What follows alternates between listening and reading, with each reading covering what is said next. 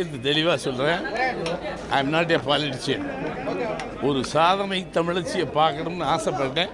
ஒரு சாதனை லேடி நம்ம இந்த ஒரு வீர தமிழச்சி. நான் பார்த்து பேசணும்னு வந்து பேசியிருக்கேன். அவ்வளோதான் தெர் இஸ் நோ அதர்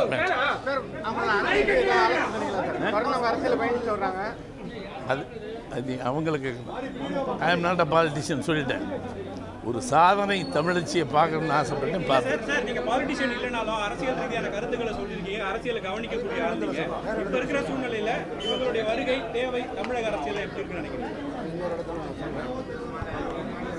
இதனுடைய சூழல் இப்போ தானே வந்திருக்காங்க. இந்த இந்த இந்த சூழலை நான் வாட்ச் ஒரு வெற்றிடம் இருக்குன்னு எல்லாருமே சொல்லிட்டு இருந்தாங்கல்ல அந்த வெற்றிடம் இருக்குன்னு வெற்றிடமெல்லாம் ஃபுல்லாக பண்ண தான் வந்திருக்காங்கல்ல. திருமதி சசிகலா அவர்களையும் உடல்நலம் விசாரிப்பதற்காக நானும் என் மனைவி ராதிகா சரத்குமார் அவர்களும் எங்கள் கட்சி இயக்கத்தின் தலைமை செயலாளர் பாகிரதி அவர்களும் என்னுடைய உதவியாளர் நடேசன் அவர்களும் இன்று வந்து அவர்களை சந்தித்து உடல்நலம் விசாரித்திருக்கின்றோம்.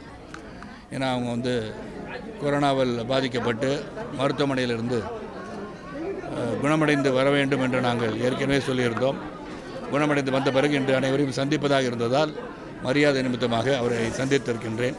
பத்தாண்டு காலம் அனைத்து இந்திய அண்ணா திராவிட முன்னேற்ற கூட்டணியில் இருந்து வருகின்ற நான் இருந்து வருகின்ற சமத்துவ மக்கள் கட்சி ஒவ்வொரு முறையும் நாங்கள் புரட்சித் தலைவர்களை சந்திக்கும் போதெல்லாம் சின்னம்மா அவர்கள் அவர்களுடன் இருந்திருக்கிறார்கள்.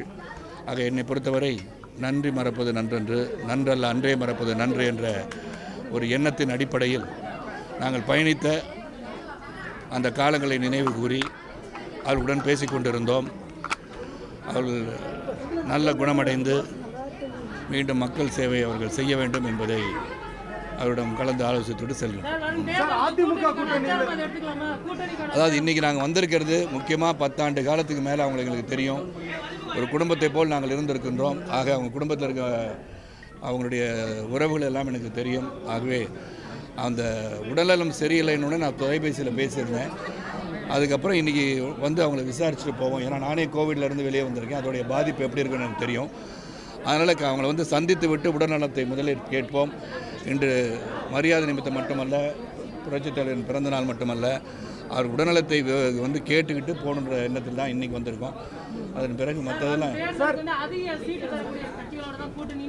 அப்படி நான் சொல்லலை நீங்கள் சரியாக பத்திரிக்கை படிக்கலன்னு நினைக்கிறேன்.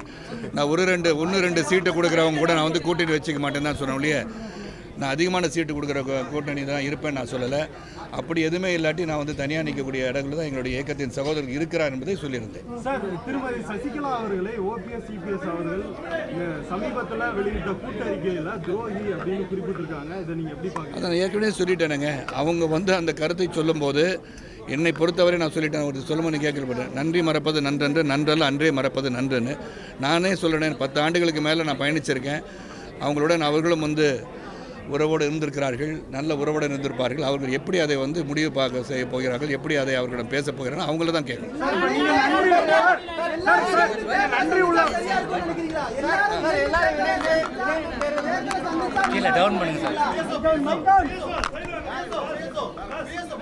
புரட்சி தலைவி அவர்கள்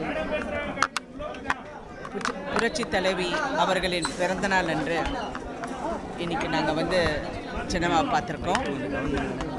எனக்கு அவங்கள புரட்சி தலைவி அவர்களின் உடன் பிறவா சகோதரி என்று தான் தெரியும். அப்படி தான் என்னை இன்ட்ரடியூஸ் பண்ணி வச்சாங்க. அந்த சகோதரியை நாங்கள் இன்றைக்கி பார்க்க வந்திருக்கோம். அவங்க உடல் நலத்தை பற்றி விசாரிக்க வந்திருக்கோம். நன்றி. சொல்லிட்டாங்கல்ல வாங்க. உடன்பிறவா சகோதரின்னு அவங்களே சொல்லிட்டாங்க. மாண்புமிகு இதே புரட்சித் தலைவி அம்மா அவர்கள் பிறந்த நாளில் மாண்புமிகு தியாகத் தலைவி சின்னம்மா அவர்களை இன்று சந்தித்து நல்லாசி பெற்று மாண்புமிகு சின்னம்மா அவர்களின் என்னுடைய வாகனத்தில்தான் பெங்களூரிலிருந்து தமிழ்நாட்டிற்கு சின்னம்மாவை என் காரிலே அழைத்து வந்தேன். இன்றும் என்றும் தியாகத் தலைவி சின்னம்மா அவர்கள்தான் நிரந்தர பொதுச் செயலாளர். நான் மாதவ மா திருவள்ளூர் கிழக்கு மாவட்ட கழக துணை செயலாளர். இது மாண்புமிகு அம்மா அவர்களால் சின்னம்மா அவர்களால் கொடுக்கப்பட்ட பதவி. இதை நீக்கவோ எடுக்கவோ யாருக்கும் உரிமை இல்லை சின்னம்மாவை தவிர. ஆகவே மாண்புமிகு சின்னம்மா அவர்களை என்றென்றும் பு- நிரந்தர பொதுச் செயலாளர் என்பதை கூறிக்கொண்டு நன்றி கூறுகிறேன். நன்றி வணக்கம். நீக்கிறதுக்கு அவங்களுக்கு அதிகாரம் இல்லை. ஆமாம் அது அது நாங்கள் எங்களை நீக்கிறதுக்கு அவங்களுக்கு அதிகாரம் கிடையாது. மாண்புமிகு இதய புரட்சித் தலைவி அம்மா அவர்களால் மா என்னை மாதவ மாவட்ட கழக துணை செயலராக நியமனம் செய்தார்கள். ஆகவே மாண்புமிகு அம்மா அவர்கள் அதற்கு பின்பு மாண்புமிகு தியாக தலைவி சின்னம்மா அவர்கள் பொதுச் செயலாளர் ஆன பிறகு மாண்புமிகு சின்னம்மா அவர்கள் தான் என்னை நீக்கினால் நீக்க வேண்டும். மற்றவருக்கு எந்த உரிமையும் எதுவும் கிடையாது. சட்ட ரீதியாக நான் சந்திப்பேன். உடல்நலம் பாதிக்கப்பட்டு தற்போது நலமுடன் அவர் தமிழகத்திற்குள் அரசியல் பணியை தொடரவிருக்கிறார் என்கிற நம்பிக்கையை உறுதியாக்கியிருக்கிறார். காவிரி வழக்கு ஐம்பது ஆண்டு காலம் போராடி உச்சநீதிமன்றத்தில் முன்னாள் முதலமைச்சர் அம்மையார் ஜெயலலிதா அவர்கள் துணிவோடு வழக்கு தொடர்ந்து காவிரி உரிமையை சட்ட ரீதியாக மீட்டுக் கொடுத்தார்கள்.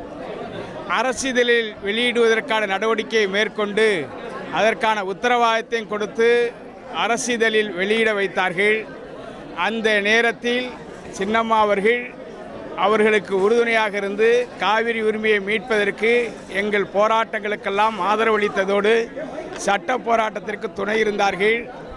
அந்த போராட்டம் முடிவுக்கு வந்த நிலையில் அந்த மகிழ்ச்சியான சந்தோஷத்தில் விழாக்களில் அவர்களுக்கு நன்றி சொல்ல இயலாத நிலையில் இருந்தது.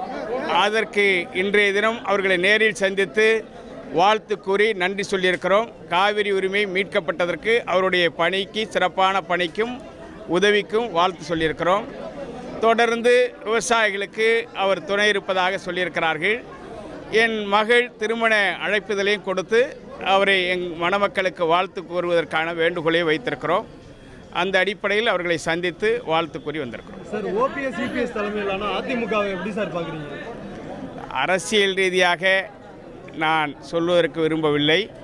விவசாயி தமிழர் என்கிற ஒரு உணர்வோடு அம்மா முதலமைச்சராக இருந்த ஜெயலலிதா அவர்கள் யாரும் எதிர்பாராத நிலையில் மரணமடைந்தார்கள். அந்த நேரத்தில் அண்ணா திராவிட முன்னேற்றக் கழக கட்சியையும் ஆட்சியையும் வடக்கர்கள் அபகரித்து விடலாம் என்று எடுத்த முயற்சியை தான் உயிரை தியாகம் செய்யவும் தயார் நான் சிறை செல்லவும் தயார். ஆனால் அண்ணா திராவிட முன்னேற்றக் கழகம் புரட்சித் தலைவர் அம்மா அவர்களுடைய அந்த கட்சியை நான் வலிமையோடு வழிநடத்துவதற்கான தலைமைகளை உருவாக்கி நான் சிறை செல்கிறேன் என்று அவர் சபதமேற்று சென்றார். ஆகவே அந்த கட்சி இன்றைக்கு ஆளுகிறது. அந்த கட்சி அடுத்த தேர்தலை சந்திக்கிற நேரத்தில் அவரும் தமிழகத்திற்கு வந்திருக்கிறார்.